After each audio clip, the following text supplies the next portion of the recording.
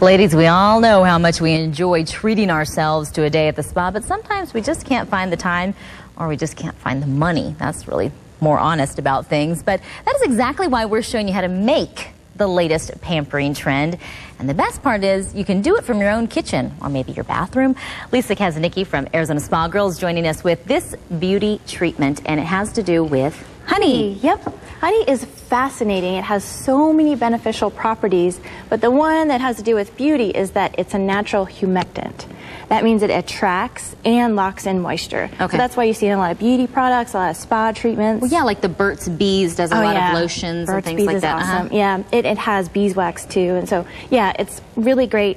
There's all sorts of different types. All right. There's orange blossom. There's clover. There's generic. I love the desert honey, especially. Does it matter which one you choose? It really doesn't. Okay. It just as long as it's. I like the desert honey for beauty treatments only because it's a little thinner, so it has a nicer consistency, but it's still very pure and very beneficial. All right, specifically, what are we doing with this? We're slathering it on, or what are Well, we first doing? of all, you know, if you just want to go to the good old Wild Oats and pick up something like these shampoos from Burt's, Burt's Bees, for example, full of honey, very inexpensive, really seven, eight dollars. You would think they're more because they have such great ingredients. and they don't weigh down your hair because it has the honey in it?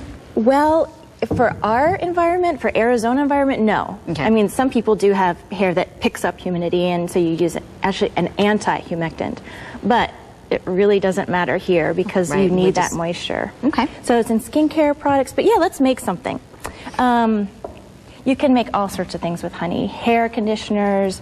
Um, oh, just, but this is a, a because it's morning. We're Right. just waking up. This is a morning buzz body scrub, Oh, and like you that. start out with two. I've already got it in here. Okay. Two tablespoons of pure honey, and then we have about a quarter cup of buttermilk, rich buttermilk, which has got that lactic acid in it to help slough off dead skin cells. Just that, just that buttermilk is going to rub it off. Well, yeah, it's or a it real a kind gentle of exfol- Yeah, we got more coming. Another agent, so- okay. Right. And then about a tablespoon of oil. I use mostly I use safflower oil in these, but you can use grapeseed oil. Safflower is really good because it has no scent at all. What's this? And this is an egg, egg white, one egg white. So this means that you, you want to use this recipe up pretty quickly. You can put it in the refrigerator for a day or two, but the egg, you know. Fresher is better. And this is the, the magical ingredients is Oreos crumbled up. no, No. coffee grinds. It looks like Okay. Oreos. It looks good enough to eat, but I wouldn't recommend it. These are coffee grinds from Okay. um, my coffee pot this morning. And then this is wheat germ. Wheat germ is also a good exfoliator because it's very gentle. All right. And it is also nourishing too. So we mix that all up. This doesn't have that much of a scent.